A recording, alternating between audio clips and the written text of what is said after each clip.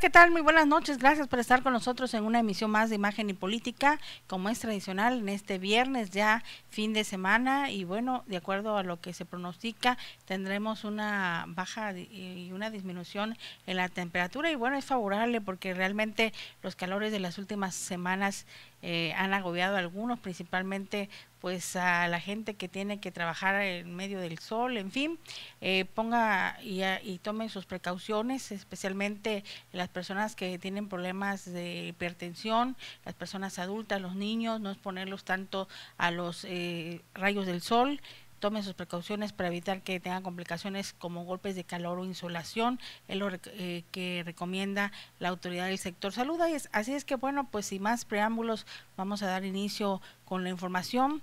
Le recuerdo que al terminar este espacio informativo estaremos como todos los viernes en la entrevista en, punto de las 8 de la noche. Y mañana sábado estaremos con ustedes a partir de las 7 de la mañana y posteriormente estará con ustedes el predicador Guillermo Roque en Platicando con Dios y de 10 a 11 estará Jaciel Celaya pero también hoy en punto de las 10 de la noche, eh, perdón, 9 de la noche como es tradicional, Jazz Night Show bajo la conducción de Jaciel Celaya en eh, precisamente en el espacio de los viernes. Y sin más, iniciamos rápidamente con la información. Fíjese que ocho migrantes cubanos fueron eh, hallados luego de que una llamada anónima la alertó de la presencia de estos migrantes cubanos que se encontraban en un, hospedados en, un hotel eh, de la avenida Malpica 1517. De acuerdo a un comunicado de la Secretaría de Seguridad Pública, se presentaron los elementos de la Policía Estatal a bordo de sus patrullas, eh, llegó también la Cruz Roja, eh, también llegaron elementos de la autoridad ministerial para responder a esta llamada anónima que les realizaron. Pero fíjese que lo extraño es que, de acuerdo a la información que también se dio a conocer extraoficialmente, es que estos cubanos llegaron alrededor de la una de la madrugada de este viernes al hotel para eh, pues pedir una habitación eh, lo hicieron acompañados de dos personas, estas presuntamente polleros, pero bueno, no mostraron ningún eh, signo o alerta de estar siendo amenazados, ni mucho menos. Se les veía eh, como amigos, tanto ellos que eran los que estaban dentro de ese grupo, como a los polleros que se encontraban ahí en el interior de la habitación que les asignaron. Y bueno, más tarde se supo que en realidad estas dos personas más eran los polleros que se encontraban eh, precisamente pues dedicados al tráfico de indocumentados y hacer cobros indebidos eh, de los llamadas extorsiones o lo que se conoce como secuestro eh, express. Y bueno pues así está. Hicieron contacto con alguna de las familias de los cubanos y comenzaron a extorsionarlos. De ahí que se diera la voz de alerta inmediatamente se realizó este operativo impresionante.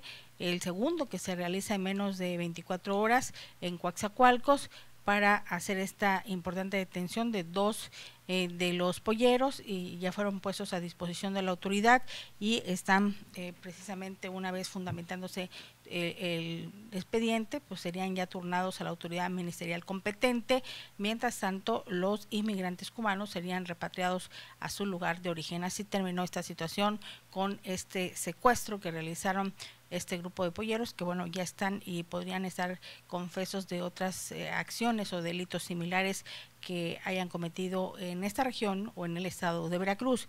Y por otro lado, le comento que eh, las autoridades tanto del gobierno federal, estatal como municipal están emprendiendo acciones.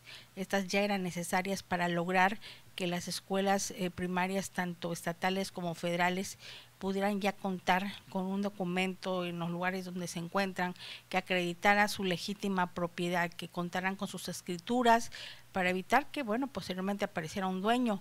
Eh, en ese sentido se está trabajando y, la representante legal de la Secretaría de Educación de Veracruz, Carla eh, Álvarez, pues da a conocer precisamente las acciones. Es un número alarmante. Solamente el 10% de las escuelas de esta región tiene los documentos que acreditan su propiedad, es decir, sus escrituras. El 90%, que es una cifra muy alta, carece de esos documentos. Esta es la nota.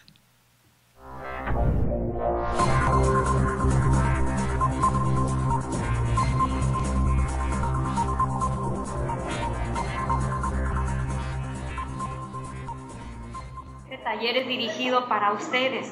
Lo que vamos a buscar es que su escuela tenga una certeza jurídica, que el día de mañana nadie llegue a reclamar precisamente que en el terreno donde ustedes se encuentran pertenece a alguien más. Es decir, entonces, en este caso, si ustedes también desean incorporarse a algún programa, van a poder ser acreedores de ellos. Bien, en este caso, lo que vamos a ir manejando en este curso van a ser políticas, estrategias y acciones públicas finalmente para que ustedes puedan obtener las escrituras. Lo que buscamos es tener plazos. Manejamos tres etapas.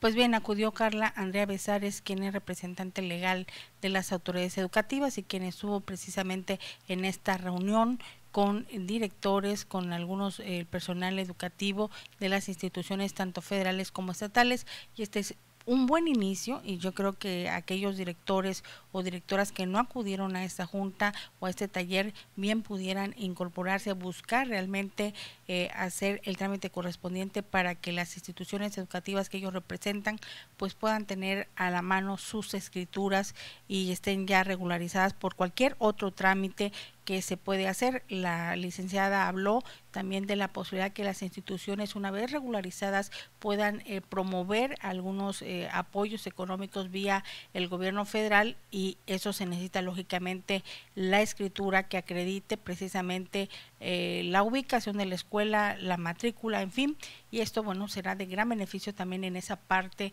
de apoyos económicos para las instituciones tanto federales como estatales. Ojalá que el resto de los eh, directores y directoras acuda a estas autoridades educativas del estado y del municipio y puedan regularizar sus predios donde se asientan estas instituciones educativas de Coaxacualcos y de la región.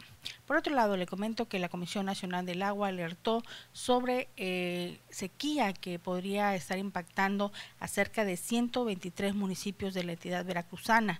En un comunicado, la Comisión Nacional del Agua destaca que 123 o 125 municipios veracruzanos son los que están resintiendo los estragos de la sequía y cinco de estos de manera extrema, entre ellos Coaxacualcos, y se podría considerar en caso de que los eh, efectos de estos duros calores que hemos tenido durante los últimos días se puedan prolongar que se estimaría de la peor sequía de los últimos 15 años que estaría teniendo Coaxacualcos. Esto eh, como una situación o un municipio extremo en cuanto a la sequía que estaría afectando el ganado y el sector campesino. Eh, en ese sentido también se habló que Hidalgo Titlán, Jesús Carranza, Sayula de Alemante, Sistepet y Uspanapa son los municipios considerados con esta mayor afectación eh, de tal manera que bueno pues estarían buscando el apoyo de las autoridades para que las afectaciones sean lo menos posible para el sector campesino y ganadero de estos municipios que de por sí pues están lastimados con la falta de créditos y apoyos del sector ganadero imagínense ahora la sequía impactando eh, su sector, no es posible que se logre la cosecha, el ganado muere y esto pues representa pérdidas económicas para el sector ganadero. Eh, la Comisión Nacional remarcó también que 54 municipios con una sequía moderada y 66 con extrema para hacer un total de 123 municipios afectados eh, por un déficit de lluvias. Este corte se hizo al 30 de abril del presente año en un monitor de sequías y estaría eh, considerándose que otros dos municipios más, que llegaría a 125, están eh, reportándose en situaciones de sequía extrema. Y esto es muy difícil. Ojalá que se pueda eh, tener la menor afectación posible para el sector campesino, pero bueno, eso requiere también el apoyo eh, de los eh, campesinos, el apoyo de autoridades y demás involucrados en este tema. Pero bueno, ahí está la situación que se está presentando por las eh, altas temperaturas que estamos registrando. Tuxpan, por ejemplo, hace dos días registró temperatura extrema de 53 grados Celsius. también la zona de las Chuapas es uno de los municipios en la parte sur con un clima extremo, una temperatura muy extrema que bueno, ya, eh, ya casi la comparan con el estado de Tabasco y ya ni se diga la parte sur de Veracruz, donde ciertamente estamos acostumbrados a los calores extremosos, pero no de la magnitud que actualmente se presentan aquí en este municipio de Coaxacualcos, ya considerado como una situación de extrema moderada sequía que estaría registrando Coaxacualcos. Vamos a ir a la pausa, enseguida regresamos. Les recuerdo que mañana sábado estamos con ustedes en punto de las 7 de la mañana con noticias. Vamos a la pausa, regresamos.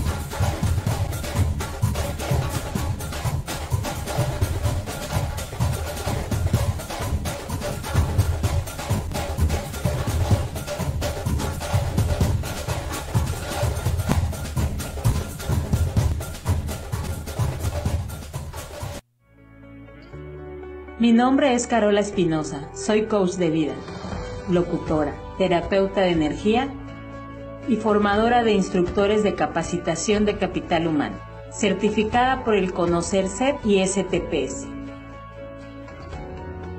Te invito a especializarte como instructor certificado, uniéndote a un grupo de maravillosas personas que están colaborando, impartiendo talleres, cursos e impactando vidas. Si dedicas tu vida a los demás, no puedes quedarte fuera de esta experiencia. Llevo muchos años impartiendo talleres y cursos en varias ciudades del país y ahora tú también puedes obtener la misma certificación. Lo imposible no existe y aprenderás a demostrarlo. Dale valor a tu habilidad y registra tu curso ante la STPS.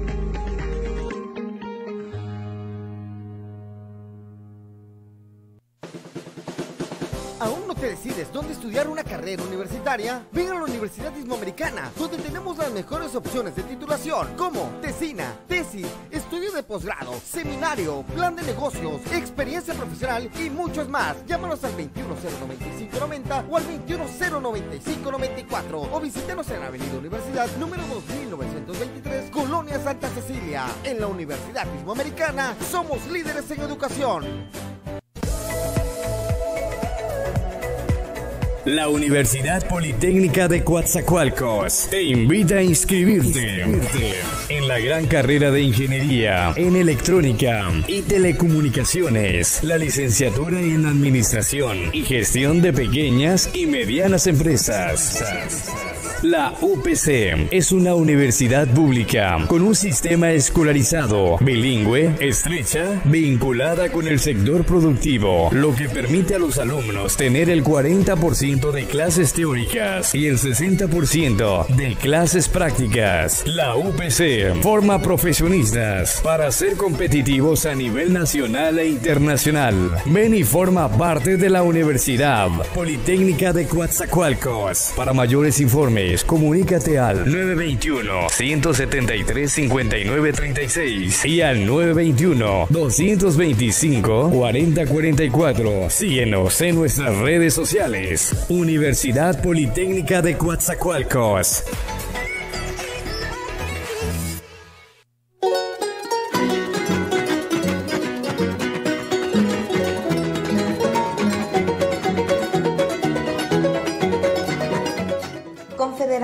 Nacional Campesina CNC te trae gran variedad de productos del campo frescos y a buen precio. Frutas y verduras de temporada como naranja, limones, papas, cilantro, zanahoria, repollo, plátano, tuna, uvas, ciruelas, tomate, productos varios como azúcar, frijol, miel, huevos. Estamos ubicados en Avenida Juárez 517 entre Allende y 16 de septiembre en el centro de Coatzacoalcos. Consumamos lo que Veracruz produce. Confederación Nacional Campesina te invita a consumir nuestros productos. CNC. Ubicado en el corazón de Coatzacoalcos, el Parque Central Miguel Hidalgo está destinado a la convivencia familiar y al rescate del medio ambiente. Con más de 650 árboles, forma el nuevo pulmón de nuestra ciudad, un área para los diferentes sectores donde se pueden desarrollar un sinfín de actividades. En deporte, contempla áreas para voleibol, básquetbol y fútbol, incluyendo zonas para patinaje y caminata. Asimismo, la construcción del foro al aire libre para resaltar la cultura y tradiciones. Parte de los espacios que hoy existen en el sitio serán rescatados e integrados al proyecto. Áreas como el taller de mantenimiento serán reubicados en espacios dignos. La construcción traerá derrama económica al ser empresas locales quienes realicen la obra, quienes a su vez generarán más de 370 empleos de forma directa. El Parque Central Miguel Hidalgo será el más grande en su tipo de la zona sur, captando el turismo de los municipios aledaños y estados cercanos. Parque Central Miguel Hidalgo, el pulmón de Coatzacoalcos, Honorable Ayuntamiento de Coatzacoalcos, raíz de la esperanza.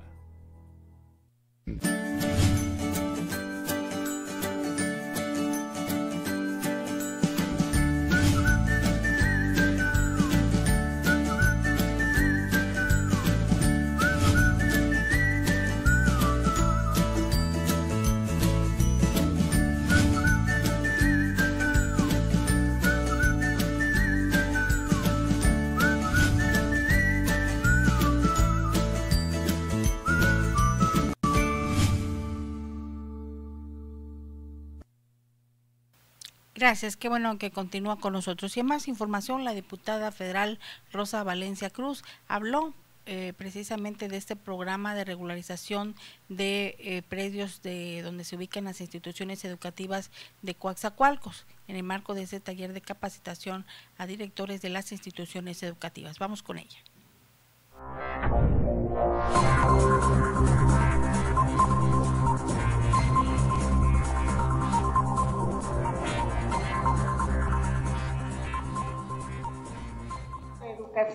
A través del área jurídica, el apoyo que nos están brindando para poder hacer realidad ese sueño de todos los directores, el poder tener un documento que avale la propiedad del terreno donde se ubica la escuela y así poder accesar a recursos de gobierno municipal, de gobierno estatal, de gobierno federal, pero también de otras instancias no gubernamentales. Las escrituras es un requisito indispensable para todas las escuelas. Y pues agradezco mucho nuevamente al alcalde porque el ayuntamiento tiene un papel muy importante en este proceso. No quiero robarles más tiempo porque está fuerte el calorcito. Muchas gracias nuevamente por estar aquí. Muchas gracias por haberme invitado. Y estoy a sus órdenes. Como maestra, conozco muchas de las problemáticas que se viven en educación. También felicidades porque ya la reforma educativa es una realidad. Muchas gracias y bienvenidos.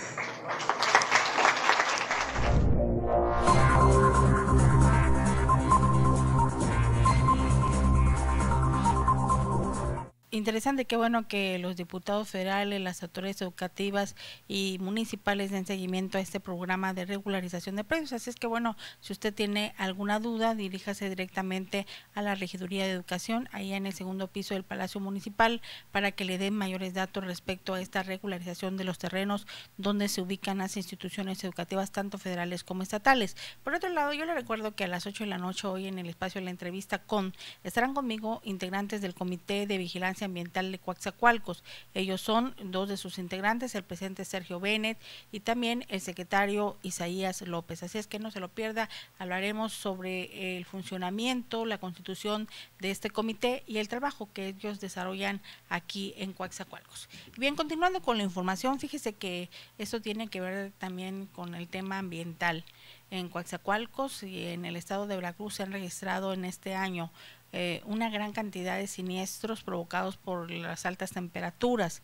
Hasta el momento se llevan registrados 833 incendios forestales y de pastizales, de acuerdo a lo que dijo el coordinador Alfonso García. Destacó que mientras el año 2018 la cifra de siniestros que se presentaron fue apenas 1092 durante el 2018, actualmente la cifra podría ser el doble de lo que actualmente se está teniendo, ya reportado eh, por parte de las autoridades eh, competentes, en este caso de medio ambiente. Es necesario que se siente precedente y que se eh, proceda en contra de aquellas personas que aún cuando está prohibido es un grave problema para la salud de los ciudadanos, eh, sigue haciendo la quema de basura. Es algo recurrente, se observa a pesar de estos fuertes calores que porque no quieren sacar las ramas, que no eh, que porque la basura es mejor quemarla, en fin, esto es un grave problema de contaminación, un grave problema de la salud en las vías respiratorias altas a las personas, a los ciudadanos, a los vecinos, en fin, eh, pero ahora se está sentando en presente ya que las autoridades ambientales buscarán aplicar una sanción económica a aquellas personas que se dedican a la quema de basura. Esto para evitar estos incendios que la mayoría destacan no son provocados, si bien es cierto, pero sí de alguna manera hay un descuido y ese es el reporte que hay un descuido humano, ese que está provocando este tipo de, eh, de incendios. Y yo diría más que un descuido humano, es el interés que tienen muchas personas en quemar basura sin realmente que esto pueda ser aprobado. Entonces hay una situación que se debe regularizar. Las autoridades eh, destacan eh, que ah, dos de las situaciones que se presentan además son los cigarrillos que se tiran, las colillas eh, al paso de la carretera o en algún lote baldío se hace fácil y también los cristales espejo o lupa que son los que comúnmente se rompen, están en un predio y comienza los intensos calores y bueno, se hace ahí, esto provoca el incendio o en su caso también quemar basura, pero el principal tema pues es precisamente la cuestión de tirar colillas de cigarro y también pues el efecto espejo de los cristales. Ojalá que todos los ciudadanos asumamos eh, o tengamos conciencia del grave riesgo que significa eh, quemar basura y además por parte de la autoridad yo creo que es ya regular esto para que se acabe. Aquellas personas, ciudadanos, vecinos o gente que le gusta quemar basura, que no lo haga para que se evite precisamente que los incendios se propaguen o en su caso que causen daño o contaminación, como vemos que ocurre actualmente en la Ciudad de México, que está una situación realmente de emergencia eh, ambiental debido a la cuestión ya que se salió del control, que es precisamente la contaminación en el medio ambiente. Y por otro lado, le comento que el titular de la Semarnaco Axacualcos, Juan Domínguez Hernández, da a conocer eh, algunas acciones que en materia precisamente ambiental están llevando a cabo para lograr pues de alguna manera acabar o erradicar o controlar la contaminación que se presenta. Esto fue lo que señaló. Vamos con él.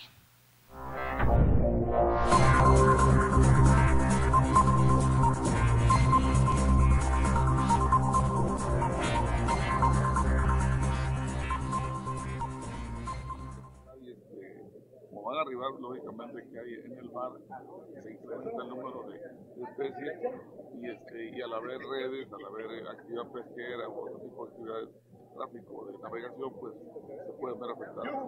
Oiga, precisamente de estas condiciones que hemos tenido, las temperaturas, también hay aves que se ven afectadas por el... Bueno, es que yo creo que todos, todos tenemos también el otro, el otro problema que son los incendios forestales, este, también eh, impactado justamente, creo yo, más este, en las cuestiones de, de aves, ¿no? y de roedores que existen en el pantano, por ejemplo. Entonces todo eso pues ha impactado negativamente a la flora y fauna que, que habita en esta zona. Ahorita en esta zona solamente el incendio forestal que se registra es en Jesús Carranza, ¿no? Sí, este, y tenemos prácticamente diario aquí en el pantano, ¿no? en el entorno de los de las matas, y este, efectivamente se está, está afectando bastante. ¿Cuál es la recomendación aquí a las personas? Porque a pesar de ver pues cómo estamos en cuestión ambiental, todavía siguen quemando basura, siguen pues Bueno. tirando las colillas de cigarro y todo eso. La recomendación es que no, no hagan ningún tipo de quema Eh, en el caso de los campesinos, los ganaderos, pues son quemas controladas, eh, efectivamente avisan con anterioridad y este, vigilar justamente los cambios de, de aire que tenga ¿no? este el terreno. Pero quemar basura en, en, la zona urbana está totalmente prohibido. Este...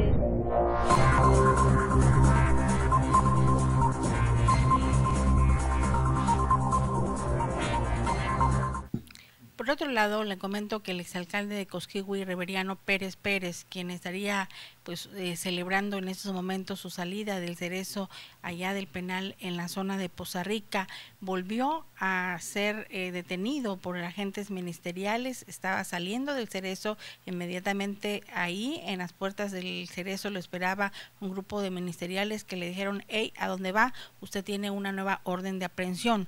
Y aunque no se mencionó ahora de qué se le acusa, lo cierto es que Reveriano Pérez fue ingresado nuevamente al cerezo de Poza Rica, Veracruz, y ahí mismo, bueno, pues eh, en el caso del primer delito que cometió, que fue precisamente la protección a un familiar de haber cometido eh, un homicidio, bueno, hay otras acusaciones que pesan en contra de ese presidente municipal del municipio de Cosquigui. Eh, sus abogados familiares y además amigos que lo esperaban afuera del cerezo, bueno, pues mm, se quedaron con las ganas de celebrar su salida, ya que los agentes ministeriales le presentaron una nueva orden de aprehensión.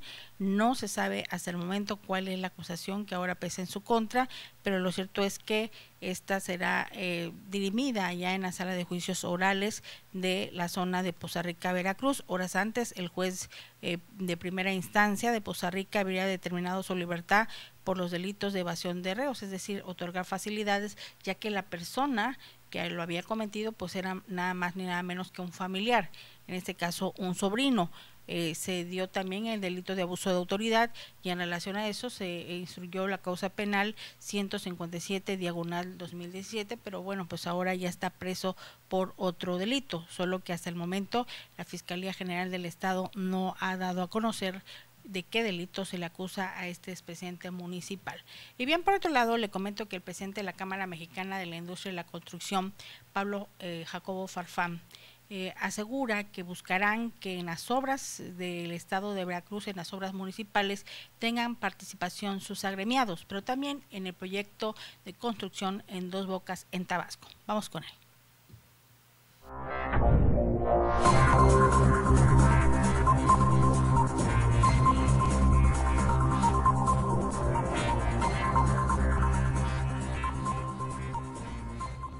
Obra que data desde antes, yo creo que Fidel Herrera está abandonada.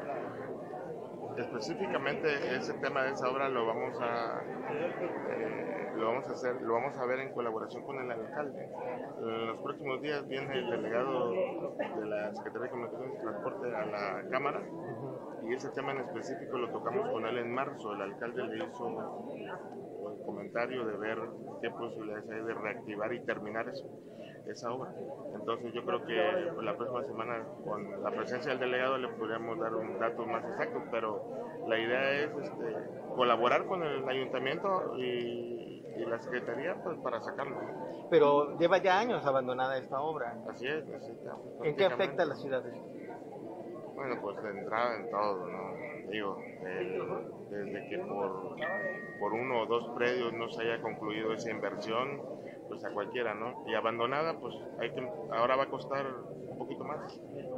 Ya no son los mismos precios de hace años que lo, hicieron. Y, bueno, al final sería gestionar con el ayuntamiento, el gobierno del estado, el que se destrabe eso de los predios para poder continuar y terminar.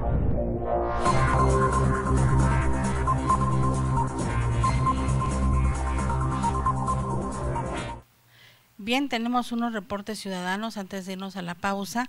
Eh, los vecinos de la colonia Minto Juárez Norte nos dicen que no tienen agua potable, no hay eh, pues alguna justificación de caer porque ellos eh, han carecido del vital líquido desde hace ya dos días, eh, les llega un poquito, pero eh, el día de ayer prácticamente no les llegó nada, además que a la una de la mañana de este viernes se les fue la luz y hasta el momento pues no cuenta con energía eléctrica. Son ya prácticamente dos situaciones que están viviendo los vecinos de esa colonia, ahí a la altura del mercado Úrsulo Galván, no tienen agua, que es un elemento importante en cualquier hogar y tampoco cuentan con energía eléctrica y esto provocado por las altas temperaturas también, pero eh, la Comisión Federal de Electricidad pues no previene esto, eh, no previene que tendremos un gran consumo eh, de prender los ventiladores o los climas, busca sustituir o tener una gran capacidad en sus sistemas, en su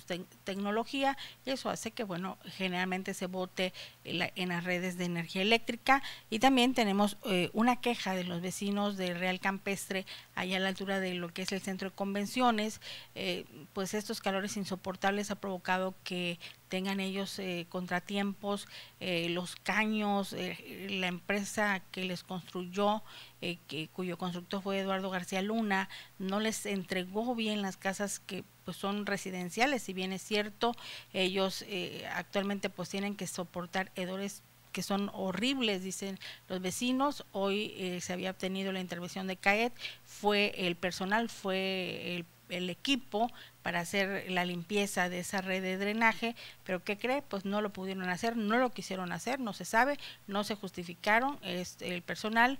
Lo cierto es que los vecinos quedaron igual. Entonces ya van a demandar precisamente a quienes vendió esas casas, unas casas eh, pues con una plusvalía alta, pero resulta que realmente pues parece ser que eh, viven en zona de pantano porque esos hedores que despide esas fosas sépticas no están conectados a la red, eso es cierto, y ojalá que ya alguien le ponga remedio a esta situación que está viviendo las familias que parece ser que viven pues viven en la extrema pobreza. Eh, porque no tienen realmente los servicios que se requieren. Vamos a hacer una pausa, enseguida regresamos.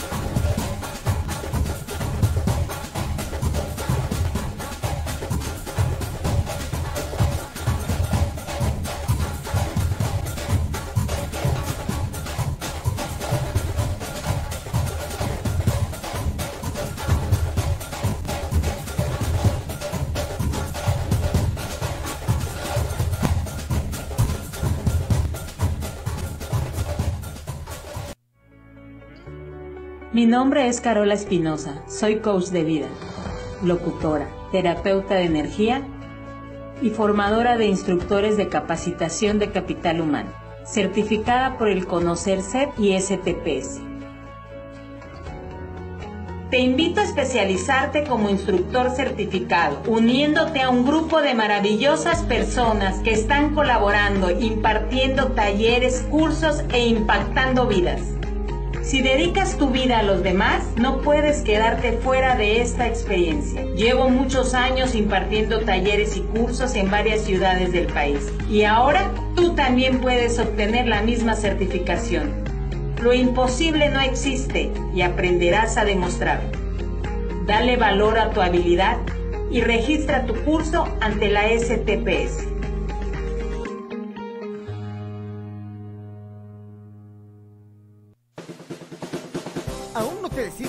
Estudiar una carrera universitaria, ven a la Universidad Ismoamericana, donde tenemos las mejores opciones de titulación, como tesina, tesis, estudio de posgrado, seminario, plan de negocios, experiencia profesional y muchos más. Llámanos al 2109590 o al 2109594 o visítenos en Avenida Universidad número 2923, Colonia Santa Cecilia. En la Universidad Ismoamericana somos líderes en educación.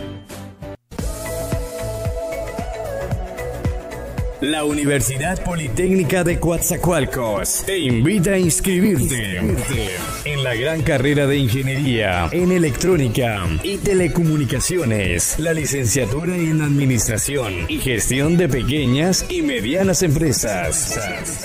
La UPC es una universidad pública con un sistema escolarizado, bilingüe, estrecha, vinculada con el sector productivo, lo que permite a los alumnos tener el 40% de clases teóricas y el 60% de clases prácticas. La UPC forma profesionistas para ser competitivos a nivel nacional e internacional. Ven y forma parte de la Universidad Politécnica de Coatzacoalcos. Para mayores informes, comunícate al 921-173-5936 y al 921-225-4044. Síguenos en nuestras redes sociales. Universidad Politécnica de Coatzacoalcos.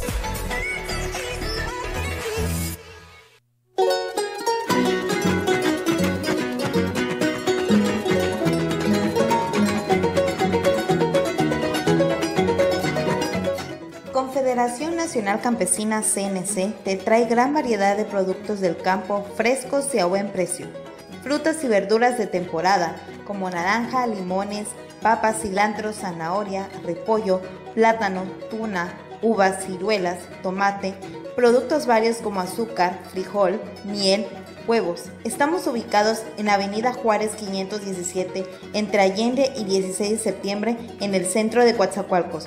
Consumamos lo que Veracruz produce. Confederación Nacional Campesina te invita a consumir nuestros productos. CNC. Ubicado en el corazón de Coatzacoalcos, el Parque Central Miguel Hidalgo está destinado a la convivencia familiar y al rescate del medio ambiente. Con más de 650 árboles, forma el nuevo pulmón de nuestra ciudad, un área para los diferentes sectores donde se pueden desarrollar un sinfín de actividades. En deporte, contempla áreas para voleibol, básquetbol y fútbol, incluyendo zonas para patinaje y caminata. Asimismo, la construcción del foro al aire libre para resaltar la cultura y tradiciones. Parte de los espacios que hoy existen en el sitio serán rescatados e integrados al proyecto. Áreas como el taller de mantenimiento serán reubicados en espacios dignos. La construcción traerá derrama económica al ser empresas locales quienes realicen la obra, quienes a su vez generarán más de 370 empleos de forma directa. El Parque Central Miguel Hidalgo será el más grande en su tipo de la zona sur, captando el turismo de los municipios aledaños y estados cercanos. Parque Central Miguel Hidalgo, el pulmón de Coatzacoalcos, Honorable Ayuntamiento de Coatzacoalcos, raíz de la esperanza.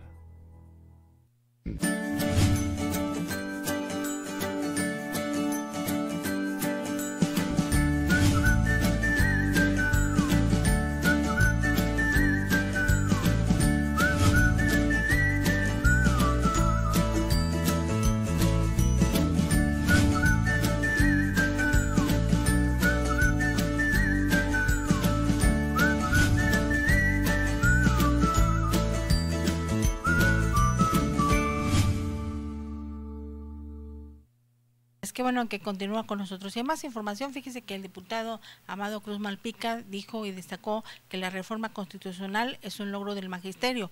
Esto en el marco de la aprobación que se dio por parte del Congreso de la Unión. Vamos con él.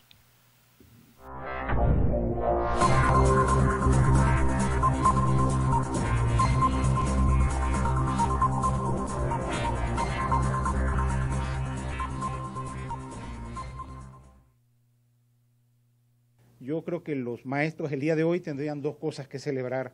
Desde luego, el merecido reconocimiento de sus alumnos y de toda la sociedad por el esfuerzo cotidiano y además un triunfo de sus movilizaciones, porque eso es lo que estamos viendo en las normas, el triunfo de la lucha del magisterio, de su oposición a lo largo de muchos años a que esto permaneciera en la Constitución.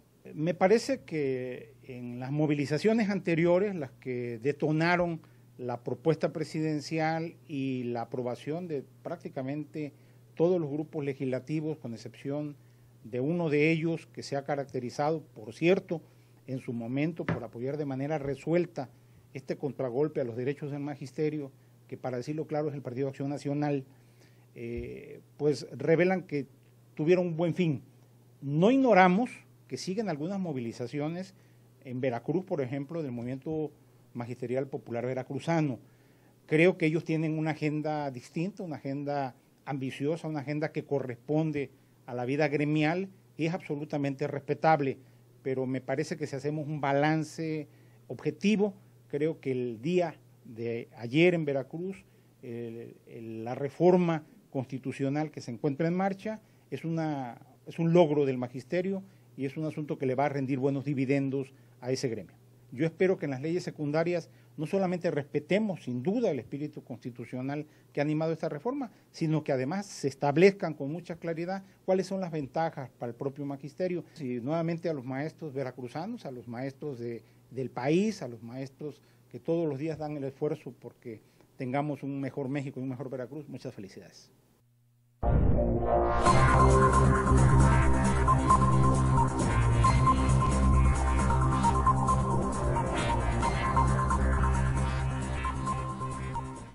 Pues ahí está la opinión que tiene el diputado local Amado Cruz Malvica.